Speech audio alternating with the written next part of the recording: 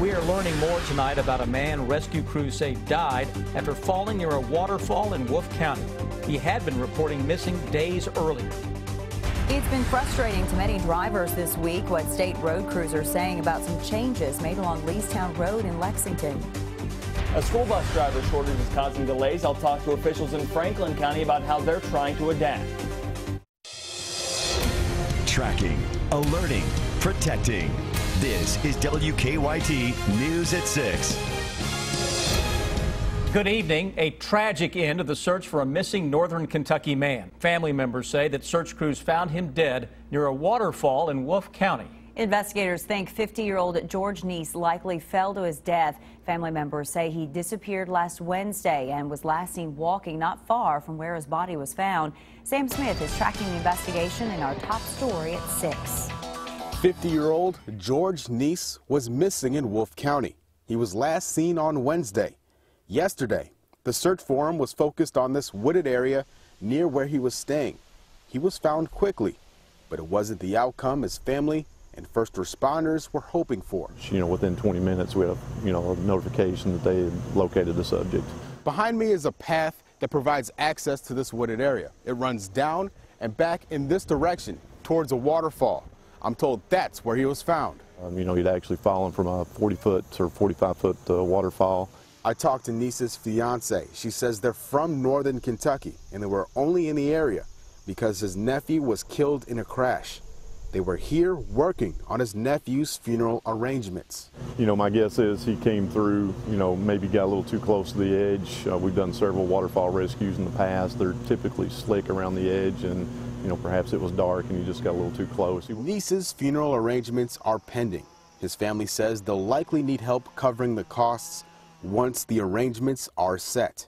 In Wolfe County, Sam Smith, WKYT.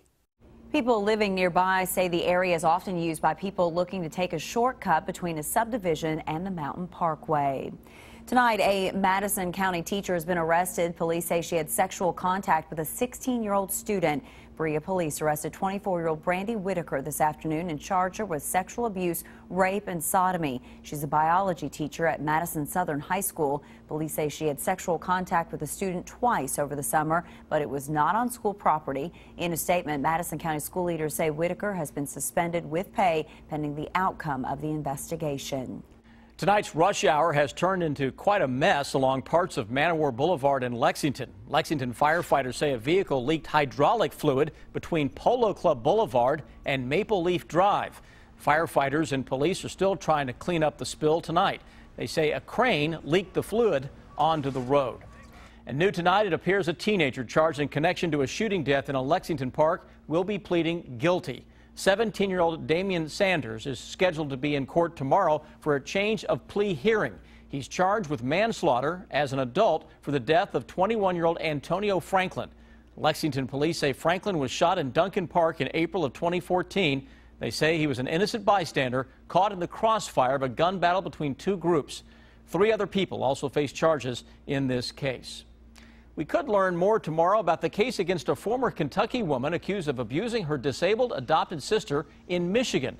Candy Lawson is scheduled to be in court in Michigan for a pretrial hearing. Police say they found her sister starving and locked in a closet earlier this month. Lawson is charged with abuse of a vulnerable adult and embezzlement. Kentucky State Police have also reopened the investigation into the 2009 death of Lawson's adopted brother in Franklin County. The coroner says that 33-year-old Christopher Churchill weighed only 60 pounds at the time of his death. New tonight, Georgetown police are looking for a man wanted in connection to some thefts at a business. Bevins Motor Company gave a surveillance video showing a man stealing a commercial lawnmower from the business Sunday night. Managers say another lawnmower was also stolen that same night. They say each lawnmower is worth about $10,000. They're making some changes to keep this from happening again. We do plan on adding several more cameras um, and also beefing up a little more security with the Georgetown Georgetown police uh, cruising the area every once in a while. The business also plans to install cables around the lawnmowers to keep them from being stolen. Tonight, Lexington police think speed and alcohol played roles in a crash that killed a man. Investigators say 43-year-old Lazarus Givens lost control of his SUV on West Maxwell Street near High Street early this morning. They say the SUV hit a telephone pole and a concrete wall. Police say Givens later died at UK Hospital. A party at a home near the University of Kentucky campus got out of hand. Lexington police say someone fired gunshots. Police say the trouble started after a group of people were asked to leave the party at a home on Crescent Avenue. They say a man in the group then grabbed a wood railing from a porch and beat someone with it. Then police say the group fired at least three shots. Witnesses say the party was going well until this group of people showed up. It was like all good vibes, and then like there was like a ton of people here, like as you know, and it just got really chaotic and out of hand, like very quick. UK issued a safety alert after the shots were fired, but later canceled it. Lexington police have not made any arrests. They say they have a vague description of the suspects. If you have driven along Lexington's Leestown Road the last few days, there's a good chance that you probably got stuck in traffic.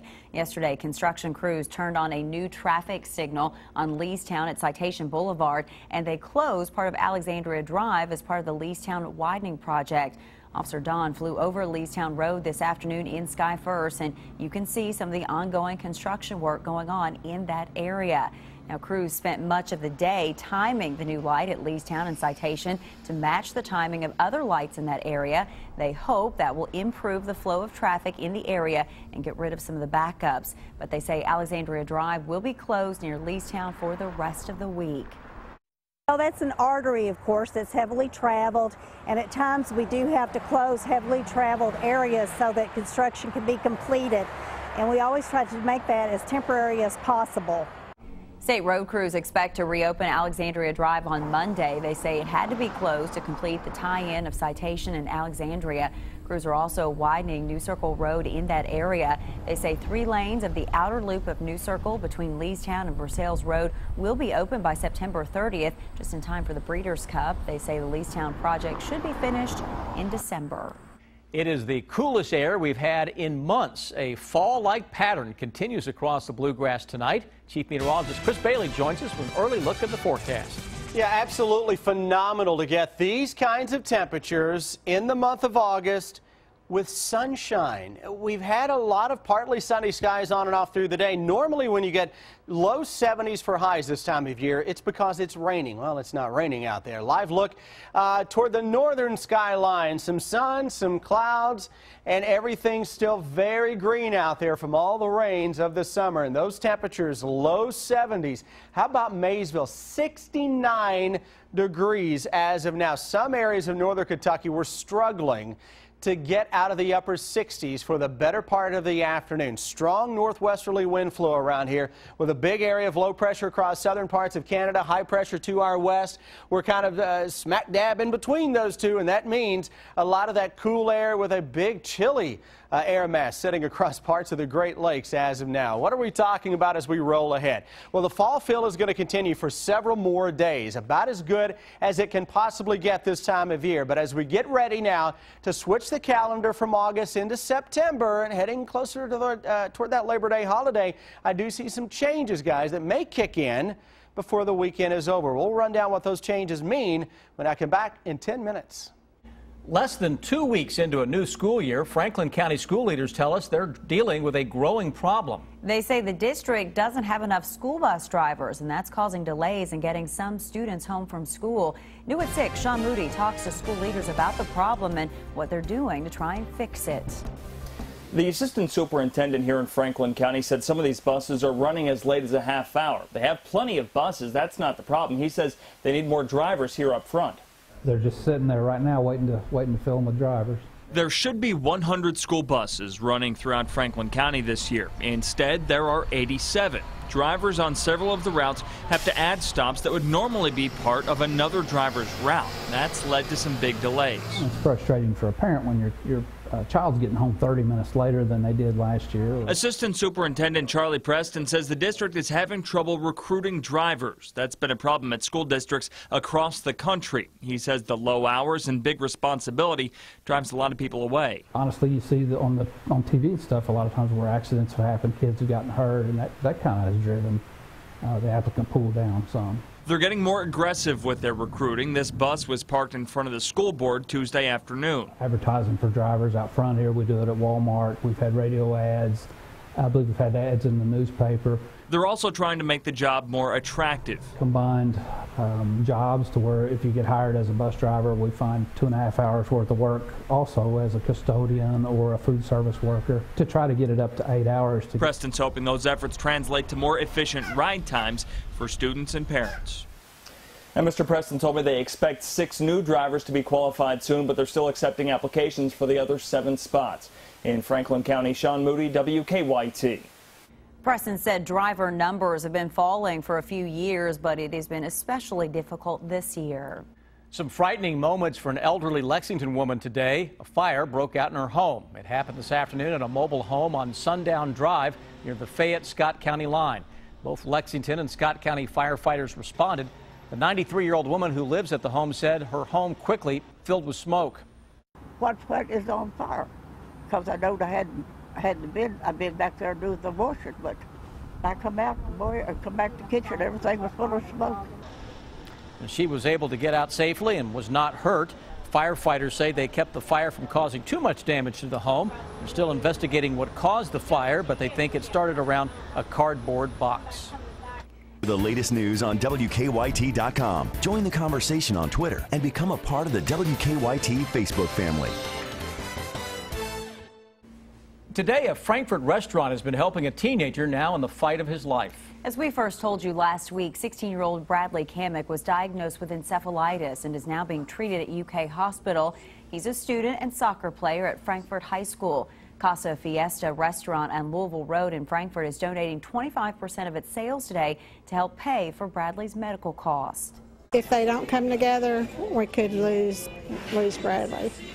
He's just he's just really sick, and his mom is heartbroken, and we just need to pull together this time. The fundraiser continues for the rest of the night. There's also a GoFundMe page that's been set up for Bradley. You'll find a link to it at WKYT.com. New tonight, some relief could be coming at the gas pump in the form of lower prices. BP says it's restarted part of a large oil refinery in Indiana that the company unexpectedly shut down earlier this month. BP blamed unscheduled repair work for the shutdown. And that led to much higher gas prices in a lot of the Midwest, including right here in Kentucky. Experts say that gas prices in the impacted areas could fall as much as 50 cents during the next two weeks, as long as no new problems develop.